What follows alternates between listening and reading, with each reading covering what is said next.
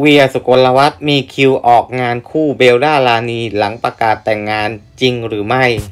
หลังจากที่หนุ่มเวียสุกลวัฒน์ได้ออกมาประกาศข่าวดีว่าเตรียมควงแฟนสาวอย่างวิกกี้เข้าพิธีวิวาในวันที่ 17 กรกฎาคม 65 นี่เองนะครับคุณผู้ชม ทางสังคมก็ให้ความสนใจกับเรื่องนี้เป็นอย่างมาก ซึ่งโดยกระแส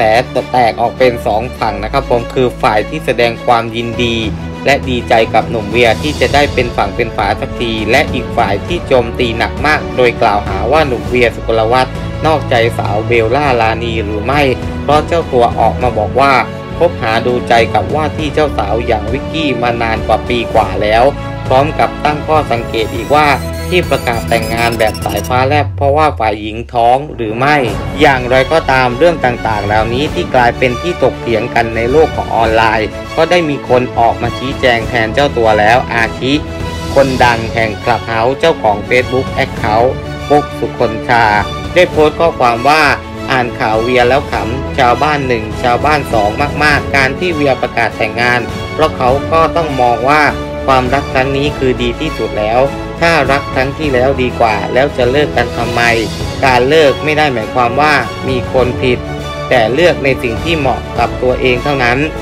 คนเราอาจจะชอบไม่เหมือนกัน ก็ต้องหยุดความสัมพันธ์ไป แต่คบกันมาแซะว่าท้องก่อนแต่งหรือเปล่า เดี๋ยวจะนับเดือนอยากรู้จังว่าเป็นอะไร คนจะท้อง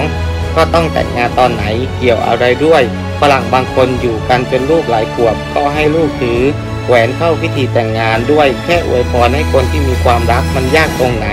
อ่านแล้วอีหยังวะและนอกจากนี้บอยวันบันเทิงพิธีกรบันเทิงชื่อดังก็ได้ออกมาบอกเผยในมุมของชามลายการเลิกกับคนเก่า พบคนใหม่ของหนุ่มเวียร์ว่าทั้งคู่นั้นเลิกกันสักพักแล้วก่อนที่จะออกมาบอกว่าเลิกกันเนื่องจากยังมีงานคู่ที่ยังจะต้องออกงานร่วมกัน ซึ่งในขณะนี้สินค้า หนึ่งตัวที่เวียร์ได้หมดสัญญาไปแล้ว เหลือเพียงเบลล่าที่เป็นพรีเซนเตอร์หลักเพียงคนเดียว อย่างไรก็ตามเรื่องงานคู่ก็มีวงในออกมาบอกอีกว่าเวียร์และเบลล่ายังเหลืองานพรีเซนเตอร์คู่ที่จะต้องออกอีเวนต์ด้วยกันอีกหนึ่งงาน นั่นก็คือจักรยานยนต์ยี่ห้อดัง ซึ่งการเจอกันครั้งนี้จะเป็นการเผชิญหน้ากันครั้งแรก หลังจากเวียประกาศแต่งงานแบบสายฟ้าแลบโดยเฉพาะเรื่องนี้จะเป็นจริงหรือไม่ ก็คงต้องรอติดตามชมกันต่อไปนะครับคุณผู้ชม